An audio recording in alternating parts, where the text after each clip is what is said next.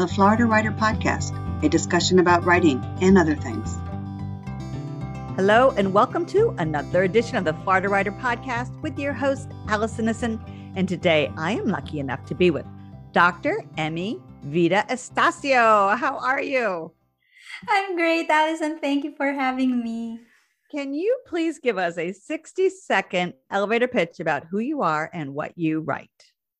Of course. Um, well, I'm a trained psychologist, chartered psychologist, and I write about how to use psychology in your life, whether it's how to change your life, adopt healthy habits, imposter syndrome, fear, that kind of stuff. So I'm so passionate about psychology and making sure that psychology is applicable and can be used by the masses.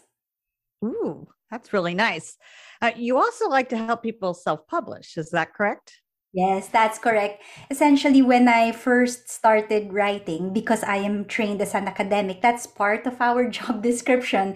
We're supposed to write books and papers and all that good stuff, and we are traditionally published. But what I found is that self-publishing is a really great way to reach your audiences um, easily and and make a really um, personal connection with your readers so i explored self-publishing launch them well every time I publish my books and launch them myself. I get the number one bestseller and people just started asking me how I do it. I keep getting the same questions. And so I thought, okay, I might as well turn this into a course and a coaching um, service. And, and that's how I ended up becoming a uh, bestseller launch strategist to help authors who are passionate about their topics, like excellent writers and can write fantastic books, but just don't know how they're going to sell it and launch it on Amazon. So that's where I come in to help.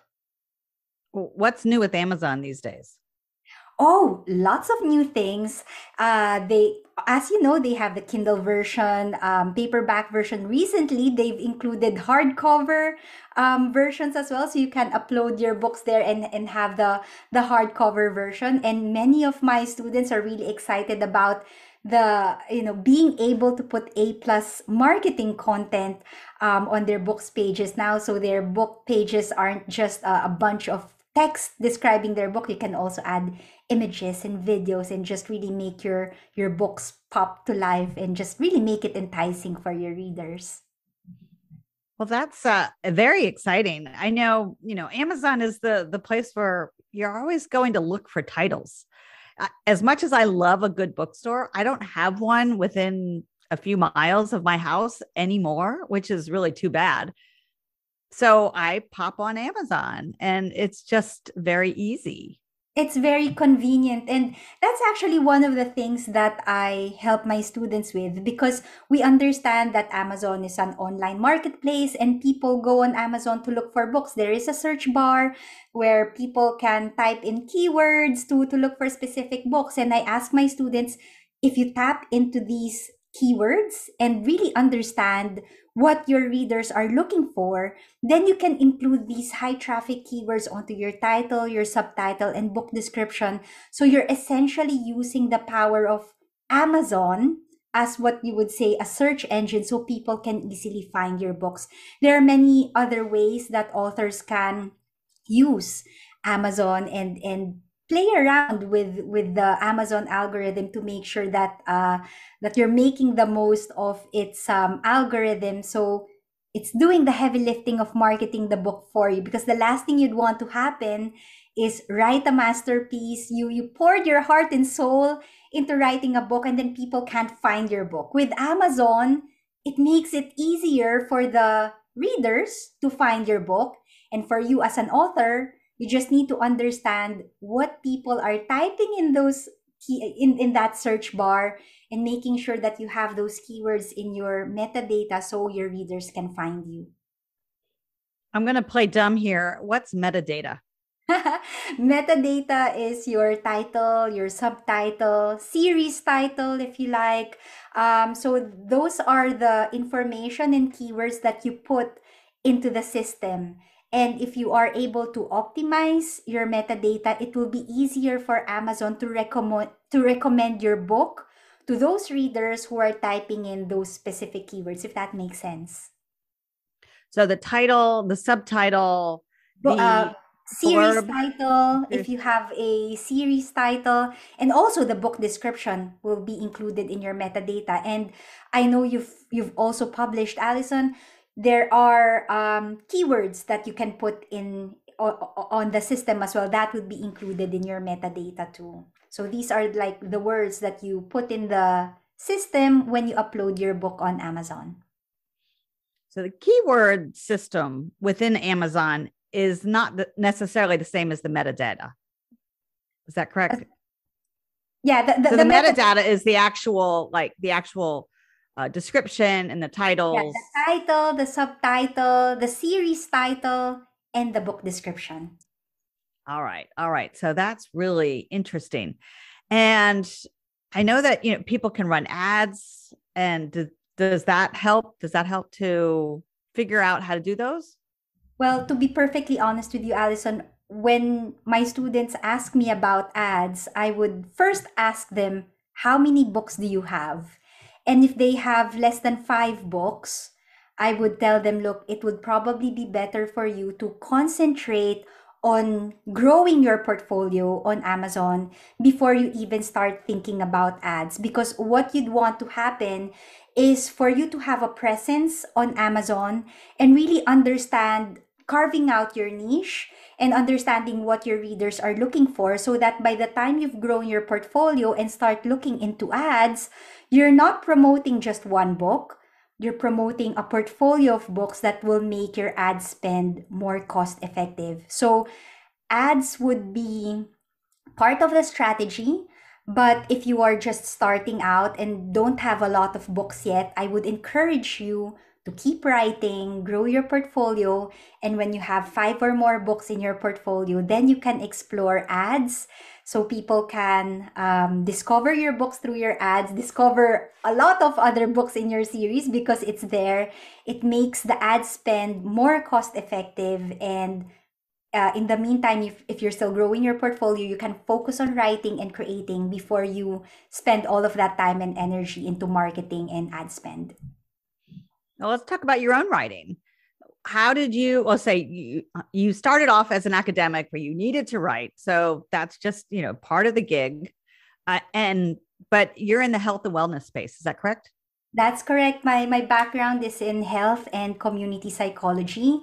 And the difference between being in academia and self-publishing for Amazon is it's a completely different audience. Um, for us in academia, we're writing for students, we're writing for uh, fellow academics, and we can use jargon. we are allowed to use jargon because that's part of our lingo. We, we learn that um, at the university and we, we teach our students that. But when you are writing books um, for mass consumption on Amazon, you have to be careful in terms of how you are communicating your um, your your your topic because you are not just speaking to the academics. You are speaking particularly for for my readers. These are people who might not have a background in psychology but would like to understand how they can use psychology in their lives. Maybe because they are feeling um, fear, they want to get on with something in their lives. How can psychology help them to understand what fear is about and how and, and what are the coping strategies they can use so they can pursue their ambition? So of course, I can talk about the brain, I can talk about neurotransmitters and conditioning and all that, but you know, I have to be mindful that my my readers are people who might not have a background in psychology but just really want to understand how they can use psychology and and um, you know so so they can understand their emotions they can understand what they can do about fear for example so they can carry on and do what they have to do in their lives. So that's what I love about writing, like um, you know, for for non-academic audiences, because I I get to write something that will have practical value and going outside the four walls of, of academia. And the, the feedback that I get from readers telling me that my books help them to cope with their depression, or some people will ask them, it just gave me that nudge to to make my life better it's just so wonderful to be able to have that impact on people because i've written my books in that way Are you able to when you have a new release, you know, um, create a book tour or go online and do a book tour? How do you promote your books? Sure. Um, because when I when I um, published my books, it was going into COVID, into the COVID times. So book tours weren't possible. But the way I promoted my books is I go on podcasts like this. I make connections with with other coaches and particularly therapists because that's um, actually my my network. So I'm able to share my expertise, not necessarily um, sell my book, but I'm there to share my expertise and then plug my book in the end. And what I found was that every time I go on podcast, I would have spikes in my book sales without me even um, blatantly selling my books. I would mention it every now and again. Like I would say, this is something that I've written about in my book, or this is something that I teach in my books. I don't tell people to buy my books, but I just kind of reference my books um, in podcasts. And particularly when I go on podcasts, I would get spikes in my audiobook sales um, because these people are already listening um, to consume information and um, and they might as well buy my my audiobook so for those who are listening maybe if you already have a a book you could consider audiobook as well because yeah going on podcasts or going into online summits and that kind of stuff you can um, you know introduce people to to that format the audiobook format if they would like to um, consume information through through that format do you record your own audiobooks? I do. I do. That's probably something that I should have considered before. I, I enjoyed recording my my own audiobooks, but I suppose the thing that I regret was editing it myself because it was so time consuming. Um, if I could do it all over again, I would get someone to edit it for me. And of course, I got a, professional sound engineer to, to, to, to do the mastering because I don't know I really don't know what they do with that. Um, but yeah, I probably should have asked someone to do the the full editing because I had to get rid of the ums and the ers and the mistakes that I made. Such a waste of my time. I should have asked someone, you know, a professional to do it for me. But you know, you you live and learn, and um, this is what I I tell my students when they go into recording their audiobooks. If you want, you can record it yourself. Just make sure that you have a quality mic and a good um, place to, to record your audiobook. Others, just because they really don't have the time, they would hire um, voice actors to do it for them. But I say it's really good fun. And there's also a personal touch um, when you actually record your own audiobook. I don't have the experience of recording my own audiobook, so I I can't speak to this. But I know that when I read a book out loud, or if I'm proofreading my own book, a lot of times they're not exactly word for word what mm. is on the page. Does that happen? Did that happen to you?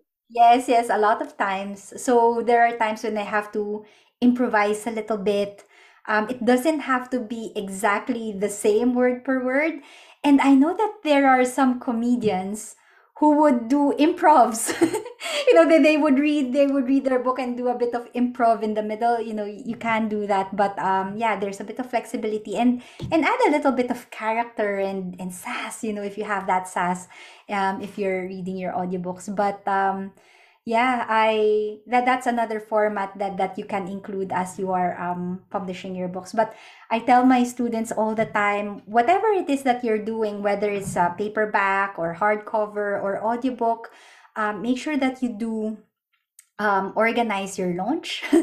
You know have a strategy in place when you launch your book because i know um, what it's like to write a book the, the amount of love and time and effort that we put into writing our books and we want it in the hands of the people we want to serve.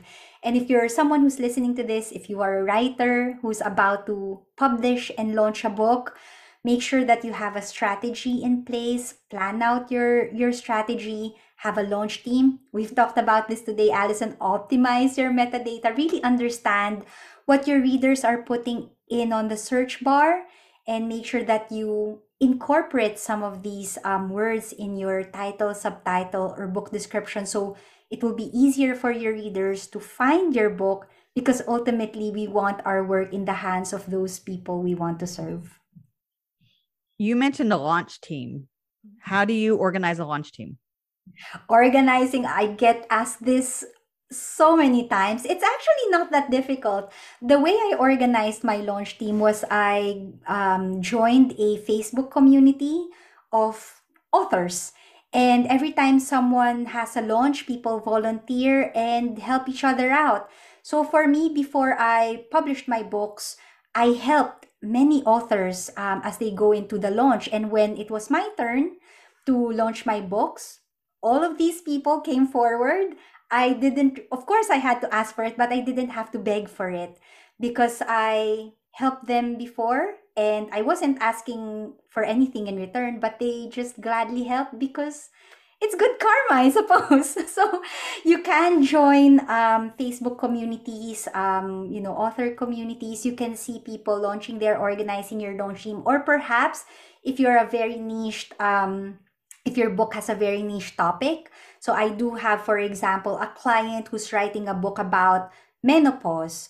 He would join a community for women who are going through menopause and ask for um, you know volunteers there to to read the book in advance download the book when it goes out and and leave um, verified honest reviews on amazon so it really depends on what your book is about, but you can start with joining Facebook communities for authors, see what's going on there.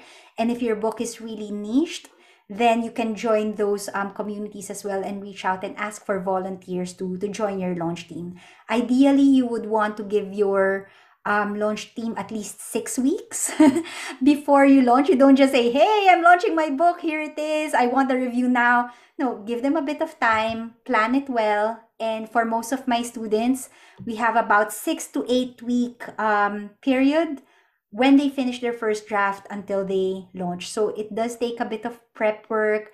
There's a bit of um, strategizing involved in this. But when you do, when you do it right, um, the launch would be smooth sailing and it's relatively easy to get to number one bestseller if you know what you're doing. Wow, what wonderful advice. Dr. Emee Vida Estacio, how can people get in touch with you? Okay, how people can get in touch with me. You can find me on Facebook. I have a Facebook community called Self Publishing Made Simple. It's a community for heart centered entrepreneurs, coaches, visionaries. So come and join us there. You can also find me on Instagram at Emee underscore Estacio. I do have a lot of fun reels there. See me dancing and pointing at text and that kind of stuff. But yeah, um, the best place would be Instagram. Uh, follow me at Emee underscore Estacio or come and join us inside our our community on Facebook called Self Publishing Made Simple. That is awesome. Are you ready to switch to our rapid fire questions? Yes, let's go. Let's go.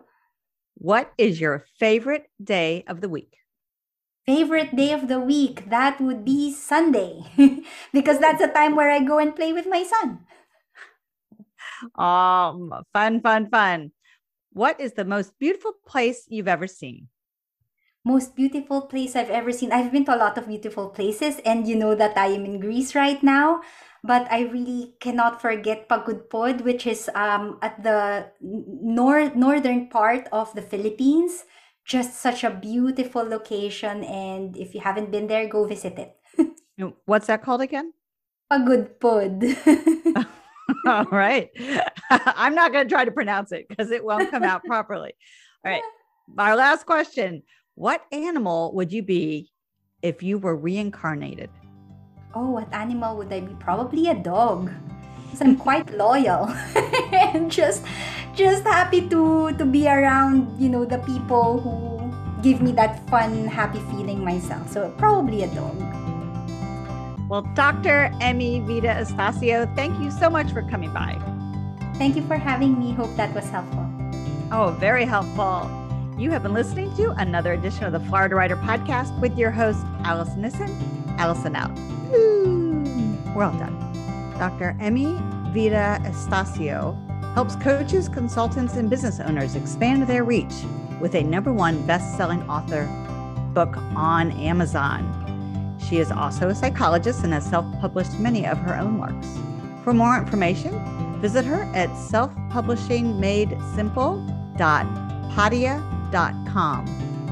Join us for a weekend jam packed with networking opportunities, workshops, awards, book signings, and a youth summit. Friday, October 28th, 2022 to Sunday, October 30th. The Florida Writer Youth Summit, October 29th. For more information, visit floridawriters.org. Until next time.